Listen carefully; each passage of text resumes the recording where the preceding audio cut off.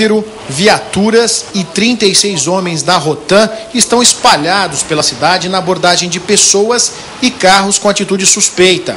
O trabalho, que começou hoje e deve continuar por tempo indeterminado, quer prevenir uma série de crimes. A função da Rotan é coibir o crime, é conseguir apreender arma de fogo, que vai evitar o homicídio, é nós conseguirmos recuperar um veículo e tirar foragidos da justiça da rua. Depois do intervalo, veja.